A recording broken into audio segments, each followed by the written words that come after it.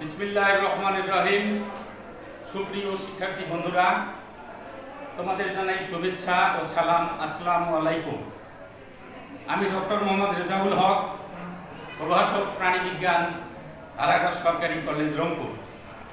প্রিয় শিক্ষার্থী বন্ধুরা, তোমরা যারা সদ্য এসএসসি পাশ করে বিভিন্ন শিক্ষা প্রতিষ্ঠানে একাদশ শ্রেণীতে ভর্তি হয়েছ, তোমাদের জন্য বিশেষ করে তোমাদের মধ্য থেকে যারা বিজ্ঞান বিভাগের ছাত্রছাত্রী, তাদের জন্য আমি জীববিজ্ঞান দ্বিতীয় পত্র, অর্থাৎ প্রাণী বিজ্ঞানের ওপরে ক্লাস নেব। প্রিয় বন্ধুরা, করোনা মহামারীতে বিশ্ব যখন স্তব্ধ, হারিয়ে ফেলেছে তার গতি, বদলে গেছে মানুষের জীবনযাত্রা উলট পালট হয়ে গেছে মানুষের স্বাভাবিক কার্যক্রম। ঠিক এমনই একটি সময়ে হারাগাছ সরকারি কলেজ, একাদশ শ্রেণির বিভিন্ন বিষয়ের উপরে অনলাইন ক্লাস চালু করেছে। আজকে আমার এই ক্লাসটিও এরূপ একটি প্রতিক্রিয়ার ফল। তো বন্ধুরা, আমরা এখন আমাদের আলোচনায় ফিরে যাই। আমি আশা করি তোমরা যদি আমার এই বক্তব্যটি মনোযোগ সহকারে শোনো এবং দেখো, আমি মনে করি কিছুটা হলেও তোমাদের উপকারে আসবে। আচ্ছা আমরা এখন আমাদের পাঠ্যক্রমে চলে যাই। আমি বলেছিলাম যে আমি তোমাদের পড়াবো জীববিজ্ঞান দ্বিতীয় পত্র, অর্থাৎ প্রাণী বিজ্ঞান। এই প্রাণী বিজ্ঞানকে ইংরেজিতে বলা হয় জুওলজি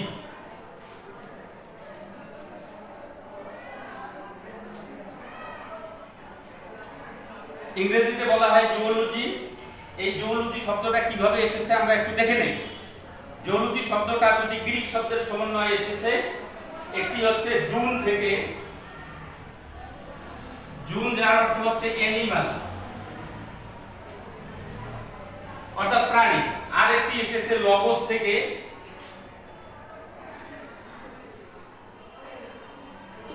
যার অর্থ হচ্ছে নলেজ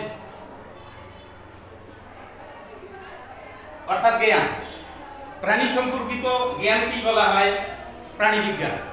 যদি আমরা এটাকে সংজ্ঞা আকারে দিতে চাই, তাহলে এভাবে বলা যায়। জীববিজ্ঞানের যে শাখা, প্রাণীর উৎপত্তি, শ্রেণীবিন্যাস, দৈহিক গঠন, বিবর্তন এবং জীবন বৃত্তান্ত নিয়ে আলোচনা করে তাকে বলা হচ্ছে প্রাণীবিজ্ঞান।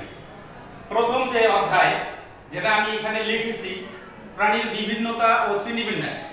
ইংরেজিতে বলা হয় অ্যানিমাল ডাইভার্সিটি অ্যান্ড ক্লাসিফিকেশন যেহেতু তোমরা সদ্য একাদশ শ্রেণির ছাত্রছাত্রী, তাই তোমাদের প্রথম অধ্যায় থেকে পড়ানো দরকার।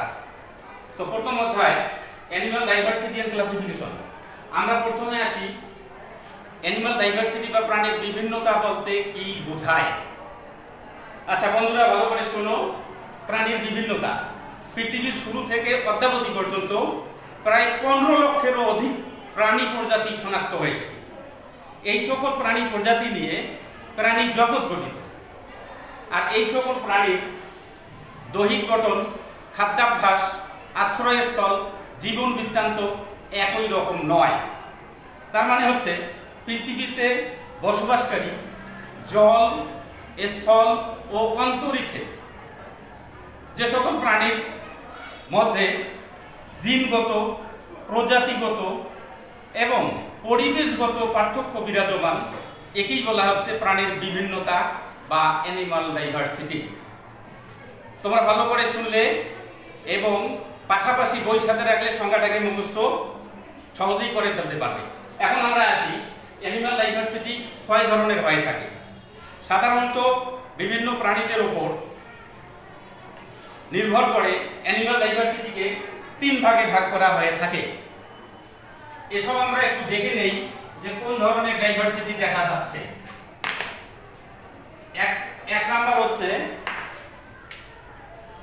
Genetic diversity.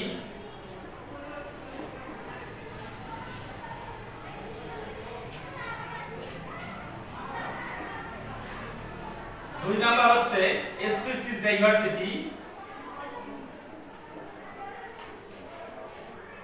তিন নাম্বার ইকোলজিক্যাল ডাইভার্সিটি। আচ্ছা জেনেটিক ডাইভার্সিটি যাকে বাংলায় বলা হয় জিনগত বৈচিত্র্য। আমরা এটা বলতে কি বুঝি? পৃথিবীতে যতগুলো প্রাণী আছে, তার মধ্যে একই প্রজাতির প্রাণীদের মধ্যে যখন বর্ণ, দৈহিক গঠন, চুলের রং ভিন্ন হয়ে যায়, তাকে বলা হয় জিনগত বৈচিত্র্য বা জেনেটিক ডাইভার্সিটি যেমন, গোটা পৃথিবীর যতগুলো মানুষ আছে, এই মানুষের যদি তোমাদের বৈজ্ঞানিক নাম ধরা হয়, তোমরা সহজে বলে দিবে যেহেতু এসএসসিতে পড়েছো, মানুষের বৈজ্ঞানিক নাম হচ্ছে হোমোসেপিয়েন্স এই হোমোসেপিয়েন্স দ্বারা পৃথিবীর সমস্ত মানুষদেরকে আমরা বুঝে থাকি। কিন্তু যারা নিগ্রয়েড, যারা কোকাসয়েড যারা মঙ্গলয়েড, এদের কিন্তু দৈহিক গঠন, গায়ের রং, চুলের আকৃতি ভিন্ন। মানে যাকে বলা হয় শ্বেতাঙ্গ, কৃষ্ণাঙ্গ এই ধরনের যারা আছে তাদের এই একই প্রজাতির মধ্যে যে পার্থক্যগুলো বিরাজমান, তাকে বলা হচ্ছে জেনেটিক ডাইভার্সিটি আবার দেখা যাচ্ছে প্ল্যান্টের মধ্যে যদি আমরা দেখি, যেমন ধান, যার বৈজ্ঞানিক নাম হচ্ছে অরাইজা সেটিভা গম, বৈজ্ঞানিক নাম হচ্ছে টিকা মেস্টিভাম ভুট্টা, যাকে বলা হয় জিয়া মেজ তোমরা জানো এসব। এই একই প্রজাতি, ধানের যদি আমরা একটা প্রজাতি নিয়ে দেখি, ধানের কিন্তু অনেকগুলো রেস দেখা যায়। আর এ সি ই রেস, যেটাকে বলা হয় জাত বা ভ্যারাইটিস। ধান একটা প্রজাতি কিন্তু অনেকগুলো ভ্যারাইটিস আছে। গমেরও অনেক ভ্যারাইটিস আছে। এই এই ধরনের একই প্রজাতির মধ্যে যে ভিন্নতা, এদেরকে বলা হচ্ছে জিনগত বৈচিত্র্য বা জেনেটিক ডাইভার্সিটি। এরপরে আমরা দুই নম্বরে আসব, স্পেসিস ডাইভার্সিটি বা প্রজাতিগত বৈচিত্র্য। এটা বলতে আমরা কি বুঝি? পৃথিবীতে নানা ধরনের প্রাণী প্রজাতি দেখা যায়। এই বিভিন্ন ধরনের প্রজাতিদের মধ্যে যে ভিন্নতা বা পার্থক্য তাকে বলা হচ্ছে স্পিসিস ডাইভার্সিটি যেমন বাঘ, গরু, সিংহ, ছাগল বিভিন্ন ধরনের প্রাণীতে আছে, প্রাণী পৃথিবীতে দেখা যায়। এদের মধ্যে ভিন্নতা পরিলক্ষিত হয়। এদেরকে আমরা বলব স্পিসিস ডাইভার্সিটি আবার দেখা যাচ্ছে যে কিছু কিছু প্রাণীদের জেনাস একই ধরনের হলেও ভ্যারাইটিস হয়ে যায় আলাদা। যেমন, সবগুলো তো বোর্ডে আসলে লিখতেও সময় লাগবে। তারপরেও আমি একটু দেখায় দেওয়ার চেষ্টা করছি। যেমন বাঘ, সিংহ। আমি বৈজ্ঞানিক নাম এখানে লিখছি না, আমি মুখে বলতেছি। একটা হচ্ছে প্যান্থেরা টাইগ্রিস, প্যান্থেরা লিও। বাঘকে আমরা বলি প্যান্থেরা টাইগ্রিস, সিংহ হচ্ছে প্যান্থেরা লিও। দুইটাই কিন্তু প্যান্থেরা তার মানে জেনাস একই। আবার প্রজাতি গিয়ে আলাদা হয়ে, একটা হয়ে গেছে বাঘ আর একটা হয়ে গেছে সিংহ। সিংহকে কেউ বাঘ বলবে না, আবার বাঘকে কেউ সিংহ বলবে না। তার মানে দুটি আলাদা প্রজাতি। আবার যদি আমরা উদ্ভিদের মধ্যে খেয়াল করে দেখি, একটা হচ্ছে গোলালু আর বেগুন। আচ্ছা গোলালু যাকে আমরা বলি ছোলা নাম টিউবারোজম বেগুন, ছোলা নাম মিলনজিনা দুইটাই কিন্তু ছোলা নাম। তার মানে জেনাস একই কিন্তু প্রজাতি হচ্ছে আলাদা। একটা ছোলার নাম টিউবারোজম গোলালু, আর একটা হচ্ছে ছোলার নাম মিলনজিনা যেটাকে বলা হচ্ছে বেগুন। এই যে একই জেনাস হওয়া সত্ত্বেও প্রজাতি হয়ে গেছে আলাদা। এটাকে আমরা বলব স্পিসিস ডাইভার্সিটি বা প্রজাতিগত বৈচিত্র্য। তিন নাম্বার, যেটাকে বলা হচ্ছে জিনতাত্ত্বিক বৈচিত্র্য। বন্ধুরা ভালো করে শুনবে, পৃথিবী একটা বিশাল এরিয়া নিয়ে গঠিত। এই পৃথিবীর বিভিন্ন অঞ্চলের জলবায়ু এবং বিভিন্ন ধরনের জীবদেহের মিথস্ক্রিয়ায় এক ধরনের পরিবেশীয় একক সৃষ্টি হয়েছে, যাকে বলা হয় বায়োম বিআইওএম এই পরিবেশীয় এককগুলোকে বলা হচ্ছে বায়োম। পৃথিবীতে নানা ধরনের বায়োম আছে। তুন্দ্রা বায়োম মরু বায়োম বনভূমি বায়োম, এই বিভিন্ন ধরনের তৃণভূমি বায়োম এই সকল বায়োমের মধ্যে যে সকল মানে অনেক প্রাণী প্রজাতি অবস্থান করে, কিন্তু দেখা যায় যে একই প্রজাতিদের মধ্যে এদের রং শেপ সাইজ এদের পার্থক্য পরিলক্ষিত হয়। যেমন যদি আমরা উদাহরণ দিয়ে বলতে পারি, তৃণভূমি বায়োমের যে বাঘ শ্বেত ভল্লুক। এটা আবার বনভূমি বায়োমে গিয়ে কালো ভল্লুকে রূপান্তরিত হয়েছে। তার মানে গায়ের কালারটা চেঞ্জ হয়ে গেছে। এই যে পৃথিবীর বিভিন্ন পরিবেশীয় একক, এদের মধ্যে প্রাণীদের অবস্থান আলাদা আলাদা আছে এবং এদের মধ্যে যে পার্থক্য বা ভিন্নতা পরিলক্ষিত হয়, তাকে আমরা বলব ইকোলজিক্যাল ডাইভার্সিটি বা জি বাস্তুতান্ত্রিক বৈচিত্র্য। আচ্ছা বন্ধুরা, এরপরে আমরা চলে আসি প্রাণীর শ্রেণীবিন্যাসের ভিত্তি। প্রাণীর শ্রেণীবিন্যাসের ভিত্তি, যেটাকে বলা হয় বেসিস অফ অ্যানিমাল ক্লাসিফিকেশন প্রাণীদেরকে বিভিন্নভাবে ভাগ করা হয়ে থাকে। যেমন কোষের সংখ্যার ওপর, তারপর আকার আকৃতির ওপর, ভ্রূণ স্তরের ওপর, সিলোমের ওপর প্রতিসাম্যের ওপর। আমি একটা একটা করে আলোচনা করে আসতেছি। এক নাম্বার যদি ধরি আমি, কোষের সংখ্যার ভিত্তিতে। মানে on the basis of cell on the basis of number of cell the cell are of two types একটাকে বলা হয় এক এককোষী মানে এককোষী প্রাণী, আর একটাকে বলা হচ্ছে বহুকোষী প্রাণী। ইংরেজিতে বলা হয় ইউনিসেলুলার আর মাল্টিসেলুলার। আমরা ইউনিসেলুলার বলতে কি বুঝি? যে সকল প্রাণীর দেহ শুধুমাত্র একটা কোষ দ্বারা গঠিত। Body consist of only one cell that is called unicellular animals উদাহরণ হিসেবে আমরা বলতে পারি, অনেক ধরনের আছে amoeba, euglena, giardia, paramecium chlamydomonas অসংখ্য প্রাণী অ্যাবাউট ফিফটি থাউজেন্ড স্পিসিস একটুসি হয়ে থাকে। যেটা পূর্বে ছিল প্রোটোজোয়া, বর্তমানে এটাকে প্রোটিস্টাকে প্রোটিস্টা কিংডমের অন্তর্ভুক্ত করা হয়েছে। এরপরে আমরা আসি বহুকোষী প্রাণী, যেটাকে বলা হয় মাল্টিসেলুলার অ্যানিমালস যে সকল প্রাণীর দেহ অনেকগুলো কোষের সমন্বয়ে গঠিত, তাদেরকে আমরা বলি মাল্টিসেলুলার বা বহুকোষী প্রাণী। মানে body consist of a large amount of cell large number of cell numerous cell এদেরকে বলা হবে বহুকোষী যেমন এই যে আমরা মানুষ গরু, ছাগল, হাঁস, মুরগি বাঘ বাঘ, সিংহ, সাপ সবগুলো হচ্ছে বহুকোষী প্রাণী। এরপরে আমরা দেখি আকার এবং আকৃতির ভিত্তিতে প্রাণীর শ্রেণি বিন্যাস। শেপ সাইজ এই আকার এবং আকৃতির উপর ভিত্তি করে প্রাণীদেরকে দুই ভাগে ভাগ করা হয়ে থাকে। একটাকে বলা হয় ক্ষুদ্র প্রাণী আর দুই নম্বর হচ্ছে বৃহৎ প্রাণী।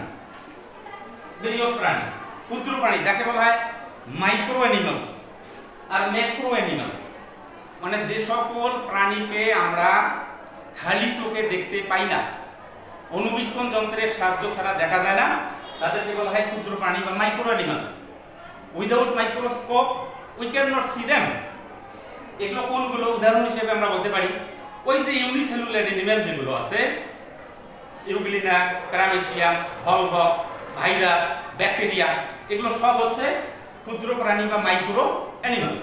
আরেকটাকে বলা হচ্ছে? বৃহৎ প্রাণী বা ম্যাক্রো অ্যানিমালস।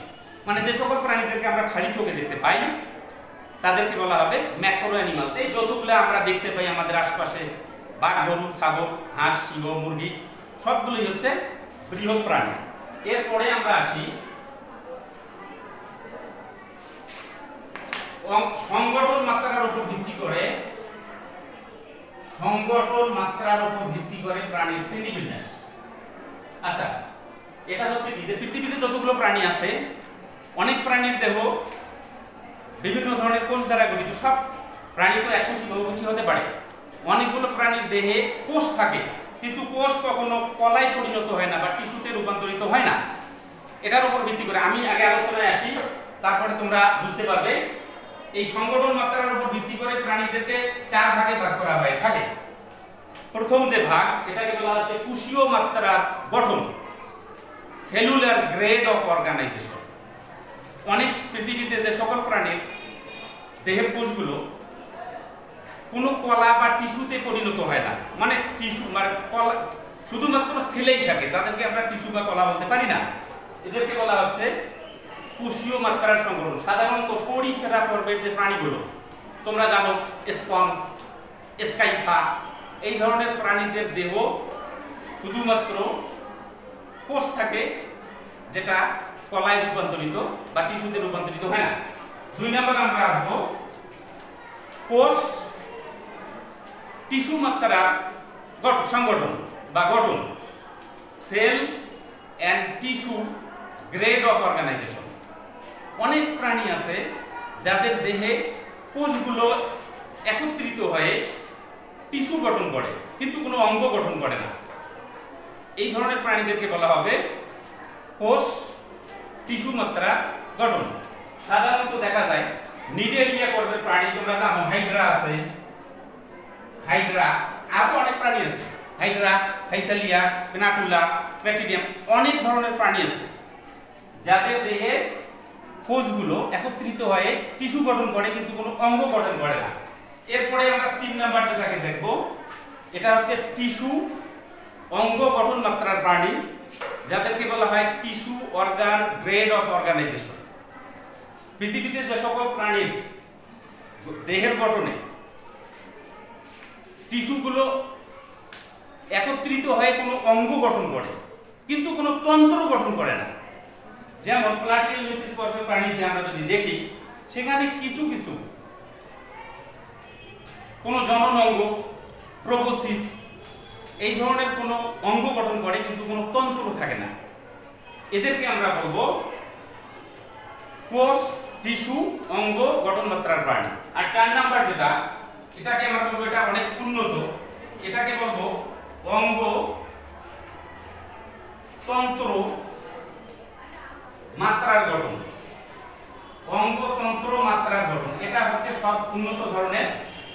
যে সকল প্রাণীর দেহ, কোষ থাকবে, কোষ টিস্যু গঠন করবে, টিস্যু অঙ্গ গঠন করবে, আবার অনেকগুলো অঙ্গ একত্রিত হয়ে তন্ত্র গঠন করবে। যেমন পরিপাকতন্ত্র রেশনতন্ত্র জননতন্ত্র। আমরা জানি, digestive system, reproductive system excretory system এই বিভিন্ন ধরনের সিস্টেম তৈরি করে। অর্থাৎ এরা উন্নত মানের প্রাণী।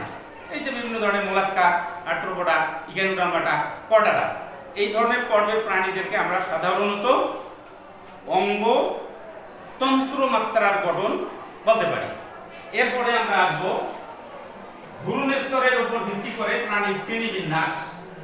ভ্রূণ স্তর যেটাকে বলা হয় জার্ম লেয়ার এই জার্ম লেয়ার্স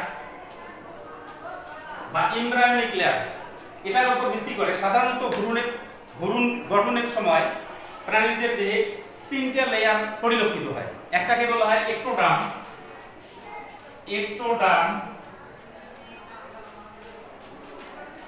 দুই নম্বর হচ্ছে মেসোডার্ম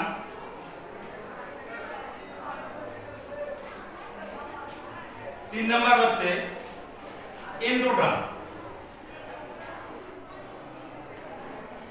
এই যে ভ্রূণের যে স্তর তিনটা একটোডার্ম মেসোডার্ম এন্ডোডার্ম এটার উপর ভিত্তি করে প্রাণীদেরকে দুই ভাগে ভাগ করা হয় থাকে একটাকে বলা হয় দ্বিস্তরী ইংরেজিতে বলা হয় ডিপ্লোপ্লাস্টিক আর একটাকে বলা হয় ত্রিস্তরী যাকে বলা হয় ট্রিপ্লোপ্লাস্টিক অ্যানিমাল। আচ্ছা আমরা আগে জেনে নেই দ্বিস্তরী বলতে কি বুঝি বা ডিপ্লোপ্লাস্টিক প্রাণী বলতে কি বুঝি? যে সকল প্রাণীর ভ্রূণের স্তর শুধুমাত্র একটোডার্ম এবং এন্ড্রোডার্ম নিয়ে গঠিত। এবং এই দুই স্তরের মাঝে এক ধরনের অকুশীয় স্তর থাকে যাকে বলা হয় মেসোবিলিয়া। এই দুইটি স্তরের সমন্বয়ে গঠিত প্রাণীর দেহকে আমরা বলব ডিপ্লোপ্লাস্টিক বা দ্বিস্তরী প্রাণী। এটা সাধারণত উদাহরণ হিসেবে আমরা বলতে পারি হাইড্রা বা নিগেরিয়া পর্বের প্রাণীদের মধ্যে এই ধরনের দ্বিস্তরী প্রাণী দেখা যায়। আর একটা হচ্ছে ত্রিস্তরী। যে সকল প্রাণীর দেহের ভ্রূণ স্তর তিনটি ভ্রূণ স্তর নিয়ে গঠিত। তার মানে একোডাম মেসোডাম এবং এন্ডোডাম এরা উন্নত ধরনের হয়ে থাকে। সাধারণত দেখা যায়, এই যে মলাস্কা আর্থ্রোপোডা ইগেনোডার্মাটাই কটাটা এই ধরনের প্রাণীদের মধ্যে আমরা এই ধরনের প্রাণীদেরকে ত্রিস্তরী প্রাণী বলে থাকি। এরপরে আমরা দেখব প্রতিসাম্যের উপর ভিত্তি করে প্রাণীর শ্রেণীবিন্যাস প্রতিসাম্য প্রতিসাম্য যেটাকে বলা হয় সেমিট্রি সেমিট্রি আমরা আগে জেনে নেই। আমরা আগে জেনে নেই সেমিট্রি বলতে কি বুঝি? আচ্ছা সেমিট্রি বা প্রতিসাম্য। কোনো একটি প্রাণীকে তার কেন্দ্র বা দেহ বরাবর বিভিন্ন অঙ্গের সুষম বন্টনকে বলা হয় প্রতিসাম্য বা সেমিট্রি এই সেমিট্রির উপর ভিত্তি করে প্রাণীদেরকে পাঁচ ভাগে ভাগ করা হয়ে থাকে। আমি বোর্ডের মধ্যে লিখতে যাচ্ছি না, একটা লিখে দেখাই, যেটাকে বলা হয়, এক নাম্বার হচ্ছে অপ্রতিসাম্য। অপ্রতিসাম্য, যাকে ইংরেজিতে বলা হয় অ্যাসিমেট্রি আমরা এই অপ্রতিসাম্য বলতে কি বুঝি? মানে যখন কোনো প্রাণী দেহকে তার কেন্দ্র থেকে কোনো দিকেই সমান কেটে দুই ভাগে ভাগ করা যায় না, তাদেরকে বলা হচ্ছে অপ্রতিসাম্য বা অ্যাসিমেট্রি উদাহরণ হিসেবে আমরা বলতে পারি, তোমরা যা চেনো শামুক, যেটা মোলাস্কা পর্বের প্রাণী যাকে বলা হয় পাইলা গ্লোবোসা আবার পরিফেরাতেও কিছু প্রাণী দেখা যায়। স্কাইপা স্পঞ্জ এদেরকে বলা হচ্ছে অপ্রতিসাম্য দুই নাম্বার, এদের, দুই নাম্বার হচ্ছে গোলীয় প্রতিসাম্য বা স্পিরিক্যাল সিমেট্রি স্পিরিক্যাল সিমেট্রি এই স্পিরিক্যাল সিমেট্রি বলতে আমরা কি বুঝি? যখন কোনো প্রাণী দেহকে তার কেন্দ্র থেকে যে কোনো দিকে কেটে বহুবার সমান দুই ভাগে ভাগ করা যায়, তাদেরকে বলা হচ্ছে গোলীয় প্রতিসাম্য বা স্পিরিক্যাল সিমেট্রি এই ধরনের প্রাণীর সাইজ শেপটা সাধারণত গোলাকৃতির হয়ে থাকে। উদাহরণ হিসেবে আমরা বলতে পারি ভলভক্স একটা গোলাকার প্রাণী যাদেরকে বহু প্রতিসম হিসেবে বা গুলীয় প্রতিসম হিসেবে ধরে নেওয়া হয়। তিন নাম্বার হচ্ছে দ্বিপার্শ্বীয় প্রতিসম বা বাইল্যাটেরাল বাইল্যাটেরাল সিমেট্রি বা বাইল্যাটেরাল সিমেট্রি এটা আমরা বলতে কি বুঝি? যখন কোনো প্রাণী দেহকে তার কেন্দ্র বা তল বরাবর কেটে, শুধুমাত্র একবার সমান দুই ভাগে ভাগ করা যাবে। একবারের বেশি যাবে না। তাদেরকে বলা হবে দ্বিপার্শ্বীয় প্রতিসম। এই ধরনের প্রাণীর সংখ্যা। সাধারণত মানুষ গরু, ছাগল, হাঁস, মুরগি, সাপ ব্যাং সবাইকে আমরা এই দ্বিপার্শ্বীয় প্রতিসাম্য প্রাণী হিসেবে ধরে থাকি। চার নাম্বার হচ্ছে অডিও প্রতিসাম্য, যেটাকে বলা হয় রেডিয়াল সেমিট্রি। অডিও প্রতিসাম্য বলতে আমরা কি বুঝি? যখন কোনো প্রাণী দেহকে তার কেন্দ্র বা তল বরাবর দুইয়ের বেশিবার কেটে সমান দুই ভাগে ভাগ করা যায়। দুইয়ের অধিক বা দুইয়ের বেশিবার এই ধরনের প্রাণী সাধারণত উদাহরণ হিসেবে আমরা বলতে পারি হাইড্রা, স্টারফিশ, সি আর্সিন, এই ধরনের উদাহরণের মধ্যে পড়ে। আর পাঁচ নাম্বার আমরা আসব দি ওরিও প্রতিসাম্য বাই রেডেলা, বাই রেডিয়াল সিমেট্রি। আচ্ছা এই ধরনের প্রাণীতে কোন প্রাণীকে তার দেহের কেন্দ্র বা দুটি তলে কেটে সমান দুই ভাগে ভাগ করা যায়। তার মানে এই ধরনের প্রাণীতে কোনো অঙ্গের সংখ্যা একটি, কখনো একটি, কখনো দুইটি হয়ে থাকে। ফলে দুইটা তলে কেটে দুই ভাগে ভাগ করা যাবে। এই ধরনের প্রাণীদেরকে আমরা বলব দ্বি ওরিও প্রতিসাম্য বা বাই রেডিয়াল সিমেট্রি এই ধরনের প্রাণী সাধারণত উদাহরণ হিসেবে আমরা বলতে পারি, আছে কিছু রটিফেরা, হর্মিফেরা টেনোফেরা এই ধরনের পর্বের মধ্যে এই ধরনের প্রাণী দেখতে পাওয়া যায়। তো বন্ধুরা, আজকে আমার ক্লাসকে এই পর্যন্ত শেষ করে দেব। তার মধ্যে তোমাদেরকে বলছি যে, আমার এই ক্লাস, ক্লাসের মধ্যে বা আমাকে যদি তোমরা আমার ক্লাস সম্পর্কিত কোনো কিছু জানতে চাও, তাহলে আমার সঙ্গে যোগাযোগ করতে পারো। আমি আমার মোবাইল নাম্বার দিয়ে দিচ্ছি। Zero one seven one three eight six seven three nine zero এটা আমার মোবাইল নাম্বার যদি তোমাদের বুঝতে অসুবিধা হয় বা কোনো কিছু জানার ইচ্ছে জাগে, তাহলে আমাকে ফোন দিয়েও তোমরা জিজ্ঞেস করে নিতে পারো। আজকে এই পর্যন্ত শেষ, পরবর্তীতে তোমাদের সঙ্গে ইনশাল্লাহ দেখা হবে। আল্লাহ হাফেজ।